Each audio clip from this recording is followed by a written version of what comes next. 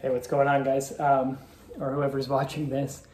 Um, this is really awkward and I don't want to do it, but I think it's probably beneficial because from all the videos that I've watched, it's kind of helped me a little bit to be more introspective and kind of think about what got me to the point that I'm at today where um, I'm 32 years old. I might not look it, the beard helps. Um, and I have no friends, like literally zero friends. Um, I had friends, and I do have friends that I'll talk to every once in a while, like on social media. I don't know if that really counts, but um, other than my wife, I literally have no friends. And it's kind of sad to say, almost pathetic. I don't want to say pathetic because, you know, a lot of people do fine without friends. Um, and I was thinking I was doing fine without friends for a long time, but I realized lately that it's kind of taking a toll on my mental health. Um, I don't even know where to begin, to be honest. So, when I was younger, we'll just go through quickly. Um, we moved around a lot. Um, there wasn't that much security there. So, you know, I could never really establish that core group of friends that a lot of kids seem like they're able to. And that group of friends, you know, they grew up with through elementary school, middle school, high school, and then, you know, some of them remain friends, you know, to this day, I'm sure. Um, and, you know, I never had that until maybe like eighth grade, ninth grade. I met a few friends, and I mean, we were friends at school. I don't want to say we were super close like a lot of people seemed to be back then because we didn't hang out that much outside of school. Um, I, I don't really even remember doing anything outside of school with people until, you know, maybe later in high school. And even then, the friend group I had, they were nice and great and everything, but I still felt like I had major imposter syndrome no matter what. And I think that's just a case of um, always feeling like the outsider because they had all been friends for years, you know, and I came out of nowhere. So even though they're really accepting and and seemed to like me and everything, you know, through the years, I still always felt like I shouldn't be there. I don't even know why. I don't know how to explain it.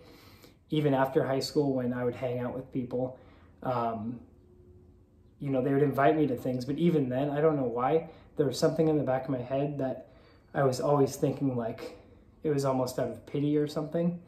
Um, I, I wish I could explain that more, but yeah, so I would hang out with them and we would have we would have fun, but I don't think we ever spoke about anything of substance really. It was more just like, you know, let's hang out, let's drink, let's watch fights or what you know, whatever we were doing at the time.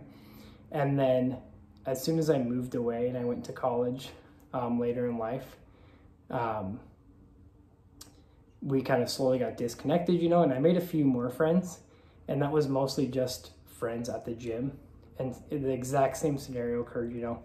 Um, I made a few friends, we'd hang out outside of the gym or outside of classes, and I still, again, for whatever reason, the anxiety would creep in where I'd be like, why are they even hanging out with me?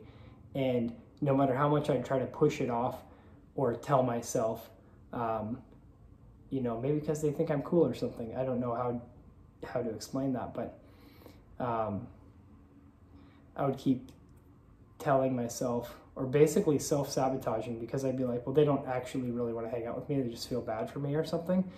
So I would push it off and I would say, I'm busy with school or or whatever excuse I could make up really I started making and then eventually you know I moved away for work and kind of lost those friends as well again um,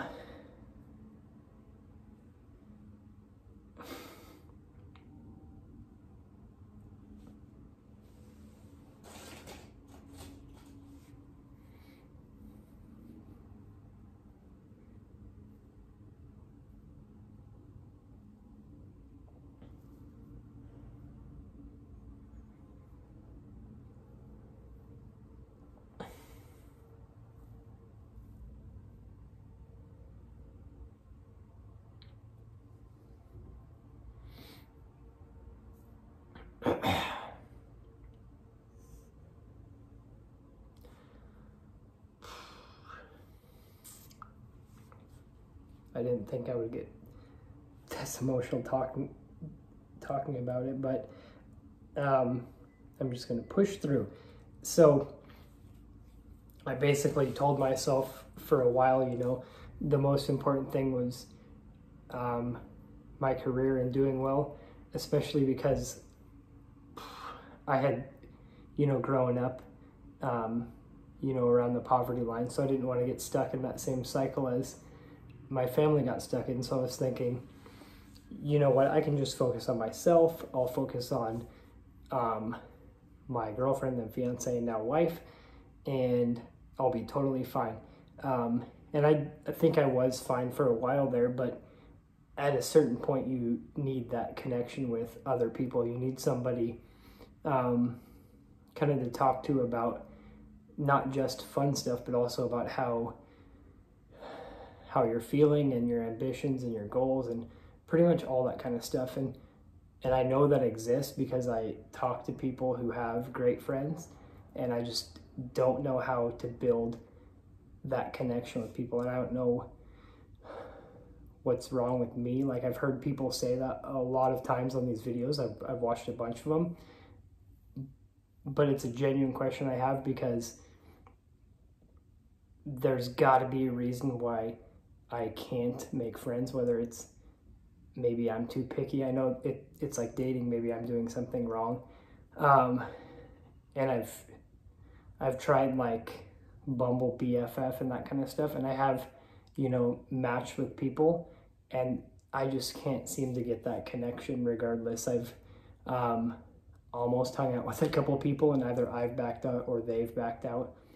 And so, I mean, I'm going to try whatever I can to make friends. I've started mountain biking recently, and I live in northwest Arkansas, so mountain biking is really big here. And it seems to be a really strong community, so hopefully I can find a couple friends that way.